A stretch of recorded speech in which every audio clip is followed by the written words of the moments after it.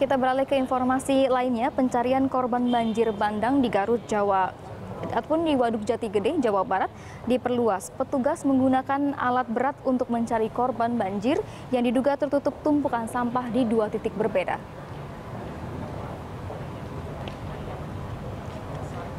Hasilnya, petugas menemukan potongan tubuh yang diduga merupakan korban banjir yang hilang.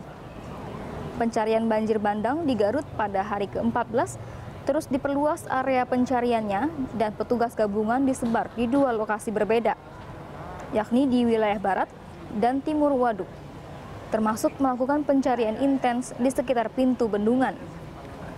Pada pencarian ini, petugas membawa eskavator apung karena banyaknya sampah di sekitar waduk.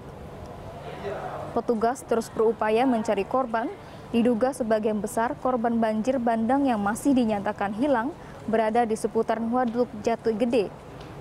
Sebab semua aliran sungai termasuk Cimanuk dari Garut bermuara di Waduk Jati Gede. Banyaknya tumpukan sampah di Waduk Jati Gede menjadi kendala besar bagi tim SAR.